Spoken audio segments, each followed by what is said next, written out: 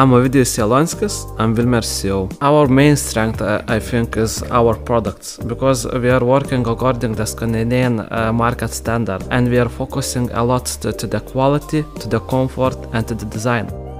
We think that nowadays uh, customers uh, want uh, the customized sofas and quickly delivered. At this moment, we have uh, 90 different modular sofas in our collection and over 250 uh, different fabrics and colors. The customer uh, can create a combination same way as Lego parts. They can pick up their measurements, armrests, legs, fabrics, and so on. So the sofa is fully customized and delivery time uh, follows from 3 to 6 weeks. When the company was established, we were working as a mass production company. We were uh, producing only leather sofas.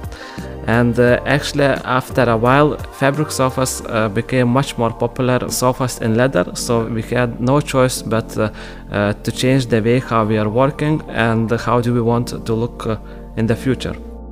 When Vilmers became a fabric sofa producer, we started to use a lot of meters of fabric. So it means that we had quite high rate uh, of waste. So we decided to buy one of the Lectra's uh, software solution to reduce uh, the fabric rate of waste. This was the first contact and this was the, our first purchase from Lectra.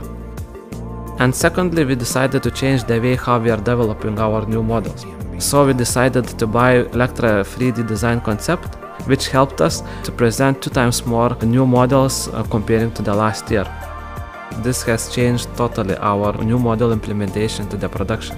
It became much more faster to develop new model, much more easier because uh, then it can be uh, customized and after each prototype presentation we can adjust in few seconds the frame, the, the length of sofas and then we can produce by the production one more time. At this moment we already bought a Formaris, Diamino and 3D design concept.